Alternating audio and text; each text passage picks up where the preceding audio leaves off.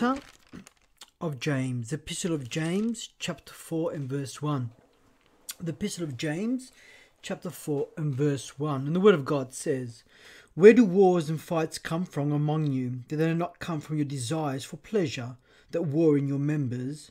You lust and do not have, you murder and covet and cannot obtain. You fight and war. Yet you do not have because you do not ask. You ask and do not receive because you ask amiss, that you may spend it on your pleasures. Adulterers and adulteresses, do you not know that friendship with the world is enmity with God? Whoever therefore wants to be a friend of the world makes himself an enemy of God. Or do you think that the scripture says in vain, the Spirit who dwells in us yearns jealously? But he gives more grace. Therefore, he says, God resists the proud, but gives grace to the humble.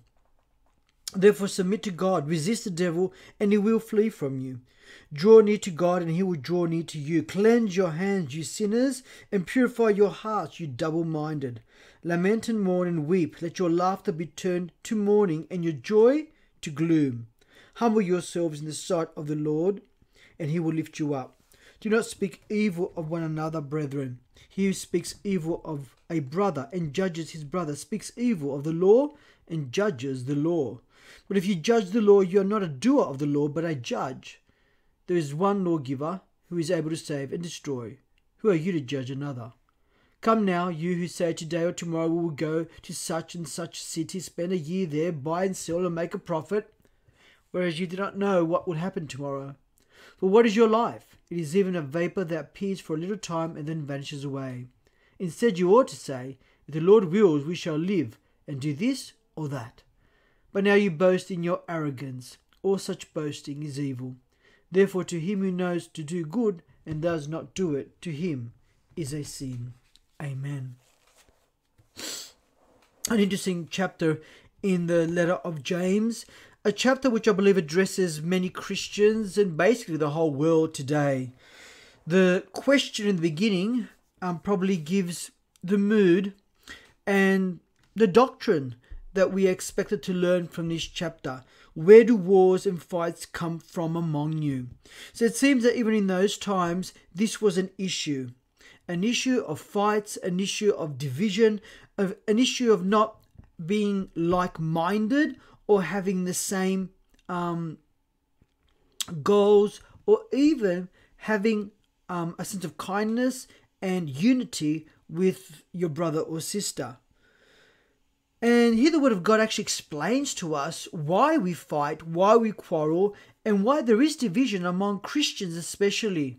You know, um, it's unfortunate to think, and we probably all know this or have lived this, that there are many divisions in churches these days, and you always hear of, you know, this certain denomination has five different um, types of churches, and they've separated ways because they don't believe believe in this or don't believe in that. And it's quite unfortunate when the unbelievers see Christians as people who cannot get along.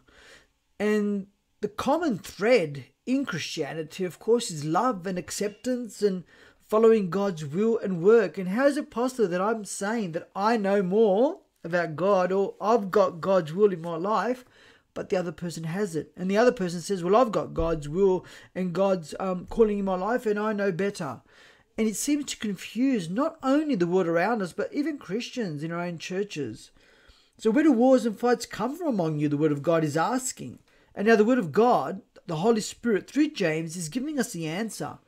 And this is an answer from God. It's not it's not a philosophy or an ideology or my point of view. It's what God is saying. God is actually telling us why there are fights. And the word of God says, Do they not come from your desires for pleasure that war in your members?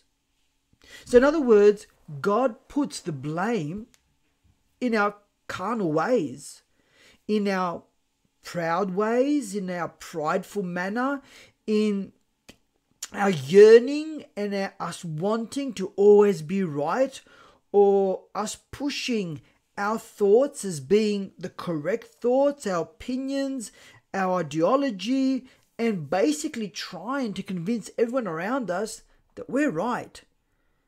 Do they not come from your desires for pleasure that war in your members? Amazing sentence. It's who we are. If I'm fighting, it's coming from within. If I'm quarreling with someone, I'm arguing or trying to get my point through in an aggressive way or demanding way, is because I have issues within me that are surfacing right now and are causing problems with the people around me.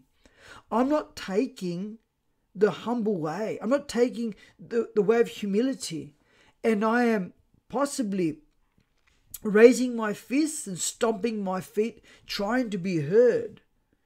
And God says that's why there are fights. That's why there are wars among you. Because you don't put on humility, as the Word of God says.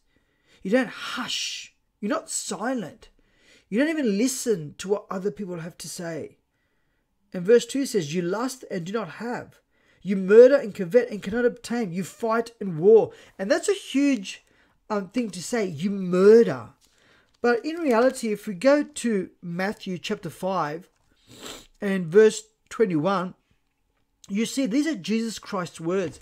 Apostle, Apostle James, through the Holy Spirit, the Holy Spirit speaking through Apostle James, and is basically quoting what Jesus Christ said in um, in uh, the Gospel of Matthew, chapter 5 and verse um, 21.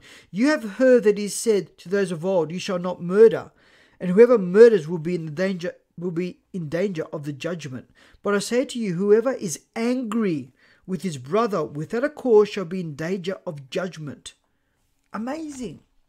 So Jesus Christ puts murder in the same level of me being angry and fighting and warring against my brother.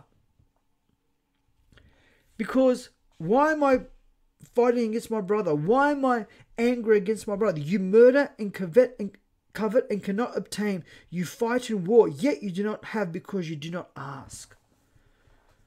So in reality, God is saying to us, you are fighting because you can't have what you're lusting for. In other words, you're not you're not happy with yourself. You're not content with what God has given you. Your heart is not full of the presence of God. You're not in a position to be humble, full of love and patience. The Holy Spirit, the fruit of the Holy Spirit isn't in you, and thus it's not coming out of you.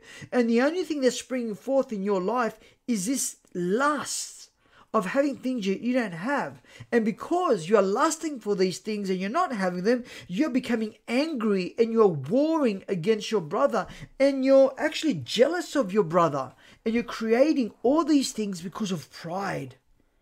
And you you, you ask, it says in verse 3, and do not receive because you ask amiss, that you may spend it on your pleasures. And this is where a Christian is, is asked to align himself, herself, with who God is. Sometimes we think that we go before God with a shopping list and we ask God or plead with God or try to convince God that He has to give us all that we want. Sometimes we have this misconception that prayer is me trying to make God do things in my life that I want Him to do. And the word of God here is quite clear. You ask and you do not receive. So if I'm asking for things that I'm not receiving, it's possibly because I'm asking amiss. What I'm asking for has nothing to do with the will of God, but it has only to do with my pleasures. And if we look at the the way that Christ taught his disciples how to pray, it puts it all in perspective, doesn't it? In this manner, therefore, pray. This is Jesus Christ. Jesus Christ said to his disciples, In this way, you're going to pray Our Father in heaven, hallowed be your name.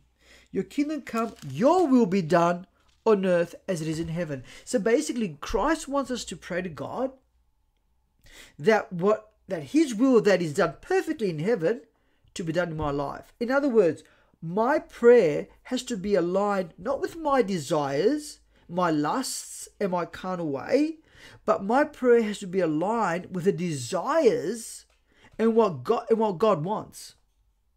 So I have to have God in my life. I have to be in dedication, devotion, reading the Word of God, being full of the Holy Spirit, having a connection with God, so that everything in my heart is actually coming from God.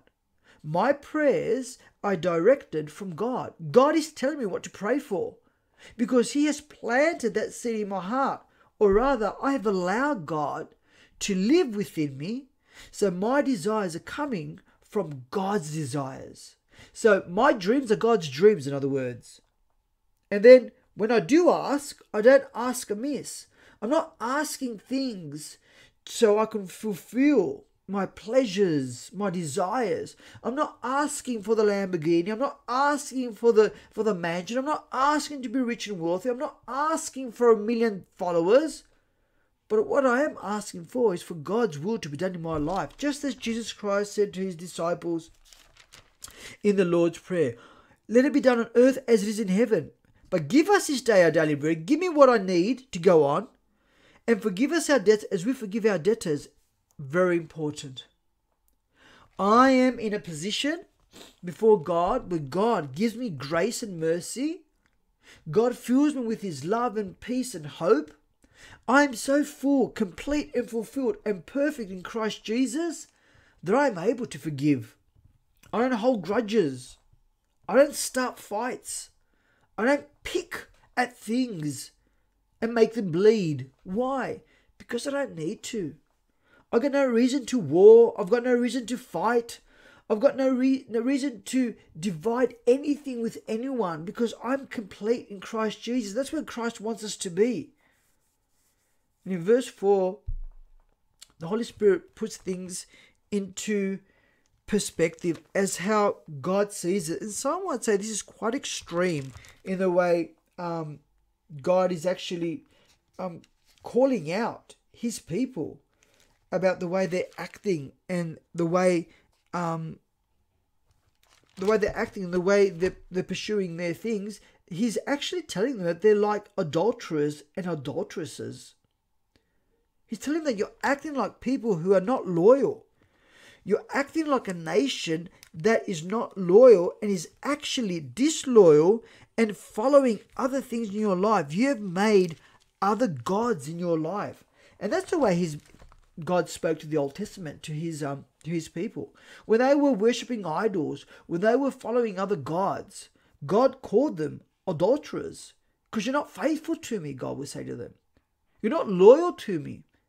You are looking left and right and you're, you're, you haven't fixed your eyes upon me. Do you not know that friendship with the world is enmity with God?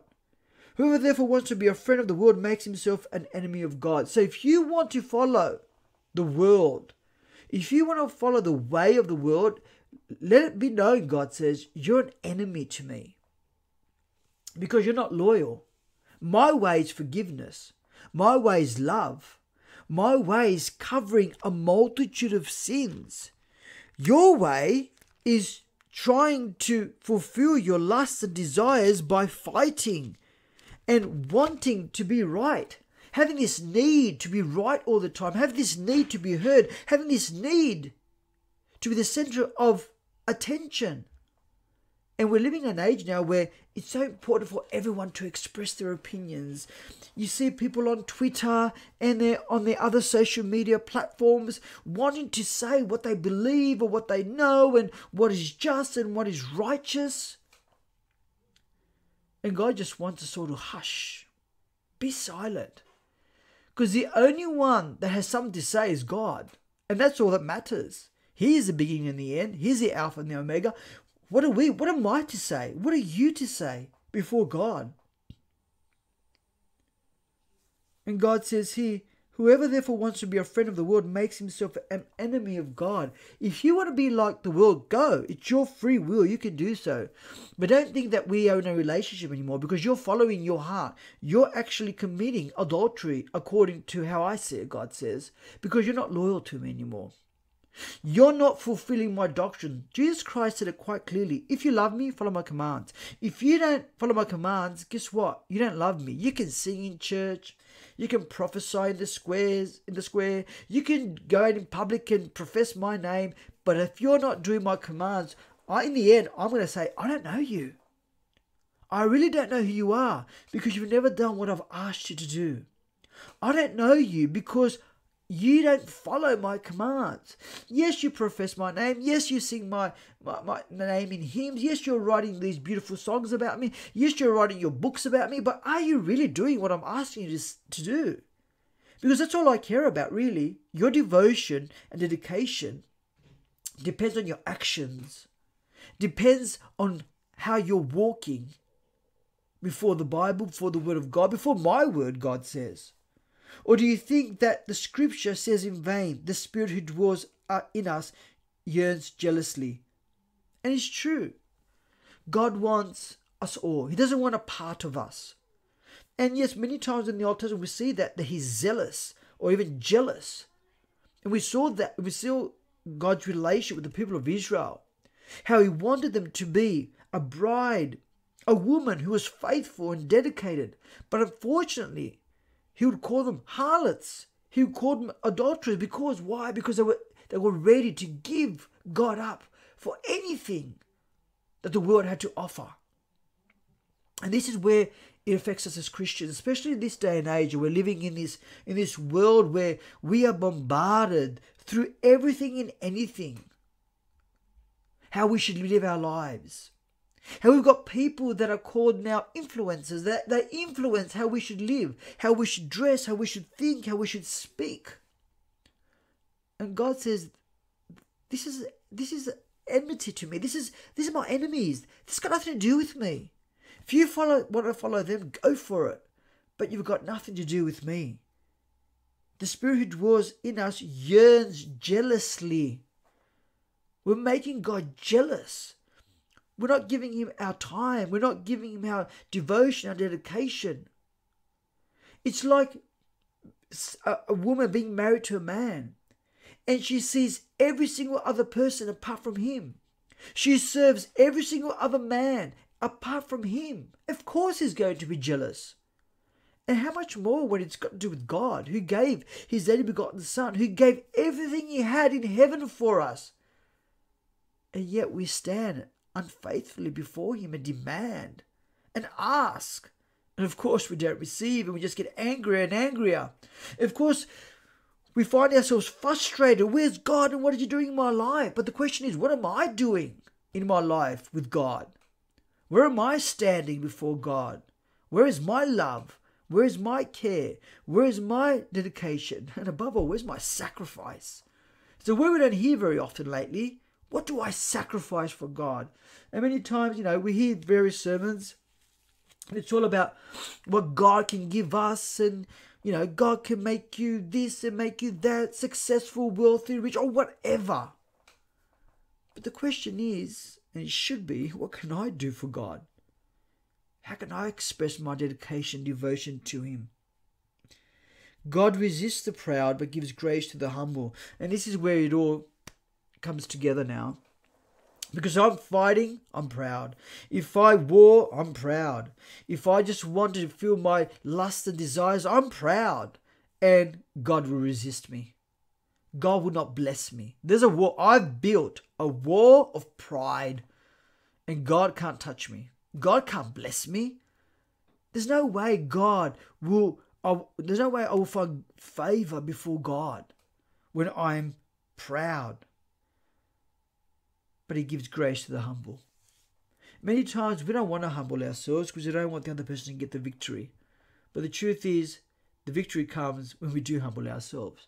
And many times we see this in our lives, in our relationships, when there is a quarrel, there is a fight. The first one to re- humble themselves and repent, they're the winners. And let's be honest, whoever is a winner in a fight, no one, no one wins these things. There's such thing as someone winning a fight. The only way I can win a fight is when I humble myself. And then the grace of God comes upon me. And then I repent. And the more grace of God comes upon me. Then I fix my relationships. Then I ask for forgiveness. And then I reach out the hand. Then peace comes in my life, in my life, in other people's lives. And then everything changes. Therefore, submit to God, resist the devil, and he will flee from you. And if you are in a, in a situation where you're getting hounded, you're getting pounded, Someone's chasing you. Someone's bullying you. The Word of God says, submit to God, resist the devil, and he will flee from you. So instead of me trying to take things in my own hands, I should submit myself to God and lay at God's feet my issue, my problem. God, I've got this issue. I'm humbling myself now before you. I'm humbling myself before everyone. I'm not going to take action. I'm not going to fight. I'm not going to war. But I'm coming to you and telling you that I need your help.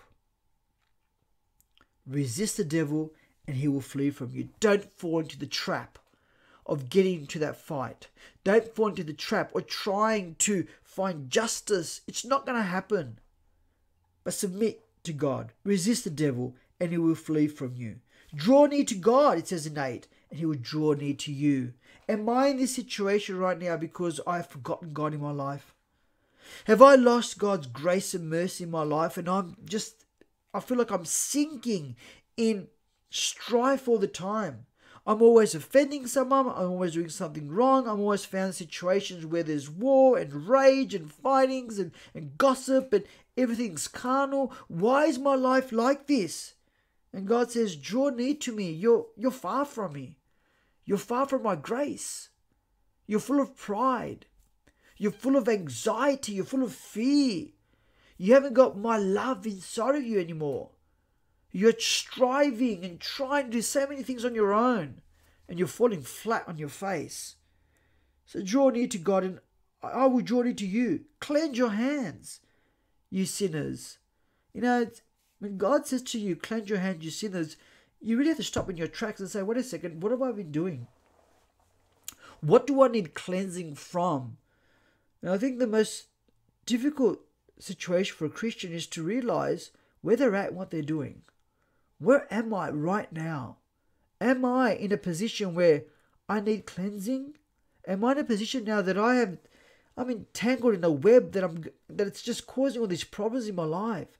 Do I just need to cleanse my hands from all this, from whatever my hands is involved in, whatever I'm, I'm, I'm doing, whatever I'm, I'm, I'm, I've immersed myself in, I'm trying to untangle myself. Maybe it's just cleanse my hands from this, wash my hands from this, just let it go.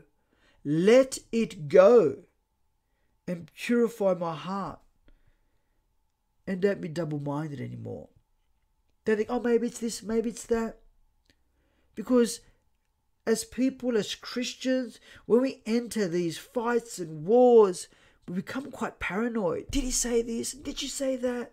And we're quite double minded. Yeah, he's a nice brother, but he does this. She said that, but, and we come, and, we, and we, we're getting crazy in our minds, whispers. And why did he say this? And we're trying to read secret messages and read between the lines. And, you know, we should be pure. To the pure, everything is pure. And trust and be loyal. Beautiful virtues, that sh- virtues that should characterize a Christian. Not paranoia, not double mindedness. And God says here, lament and mourn and weep. Let your laughter be turned to mourning and your joy to gloom. It's time to repent. It's time to put that sackcloth over your head. It's time to fall flat on your face. Ask God to draw near to you. Ask God to cleanse you, to purify your heart, to purify your minds, for me to stop having second thoughts and bad thoughts and a cloud over my head wherever I go. And just be free from these thoughts and and and paranoid um, thoughts and and whispers that come into my ears and maybe this and maybe that. And humble yourself in the sight of the Lord and he will lift you up. And that is humility, isn't it? Accepting the fact that I have done wrong, expecting, ex- accepting the fact that the way I'm walking, it's not Christ's way, and just stopping my tracks, stopping everything. Stop me talking, stop me um, getting to these wars and fights, stop defending my case, stop everything. Stop making up scenarios in my mind. What I'm going to say when Eve says this and she says that, then I'll say that. Stop all that. And just humble myself in the sight of the Lord so he can lift me up at last and free me from this web of rage and warring. And do not speak evil of one another, brethren. He who speaks evil of a brother and judges his brother speaks evil of the law and judges the law. But if you judge the law, you are not a doer of the law, but a judge. And God gives us no right to speak evil of one another. I have no right to speak evil about anyone, of my brothers or sisters. God doesn't give me that right. Because it says in 12, there is one lawgiver who is able to save and to destroy. And who are you to judge one another? So I can't judge anyone because there's only one lawgiver and one judge. I can't speak evil. I can't spread gossip. I can't say he did this and he did or she did that because God doesn't give me that authority. I haven't got that authority. The only thing I can do is humble myself. But he said this about me. So? So? Christ was crucified on the cross. He was laughed at, scorned. He was humiliated. I'm sure you're not, go, you're not going through that. I'm sure I haven't gone through that. So if Christ can forgive, if Christ can love in that situation, can't I accept someone gossiping about me? Someone spe- smearing my name? Can't I accept anything? Am I so prideful? Where's my humility? Humble yourselves in the sight of the Lord, and He will lift you up. And that's what we need to do. It's all about humility. God resists the proud but gives grace to the humble. If I want grace in my life, I have to humble myself. If I don't want God to resist me, I have to stop being prideful. Have to stop having the last word all the time. I have to stop thinking that I know everything. I have to stop being aggressive. I have to stop getting into people's faces.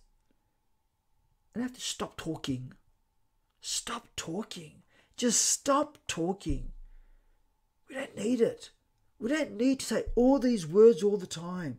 Be wise. Hold our tongues. Hold our mouths. And James says it so so beautifully in this letter about the tongue all the all the harm it does. It's just a small member of the of, the body, but it does so much harm. So much harm.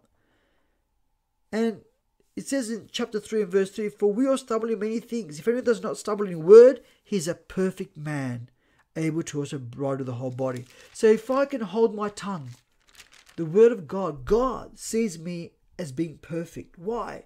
Because I've mastered it.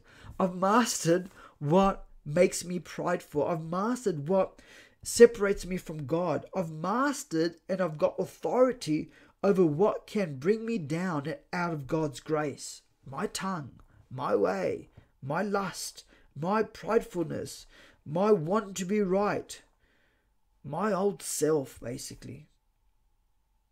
So, where do wars and fights come from among you?